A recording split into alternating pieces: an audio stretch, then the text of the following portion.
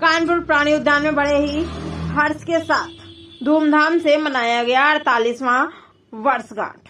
Cake काटकर मनाया अड़तालीसवा वर्षगांठ। भ्रमण करने आई कुमारी एंजल गुप्ता, पुत्री धर्मेंद्र गुप्ता दाशी साहू पुत्री शैलेंद्र कुमार, कुमारी त्रिषा साहू पुत्री संजीव कुमार द्वारा केक काटकर अड़तालीसवीं वर्षगांठ मनाई गई। दर्शकों व प्राणी उद्यान स्टाफ को केक भी बांटा गया। वर्षगांठ के शुभ अवसर पर मुख्य रूप से सुरेश चंद्र राजपूत, क्यूरेटर वन रक्षक सेवानिवृत्त नवेद इक्रम क्षेत्रीय वन अधिकारी, दिलीप कुमार गुप्ता, क्षेत्रीय वन अधिकारी, विश्वजीत सिंह तोमर, पीआरओ।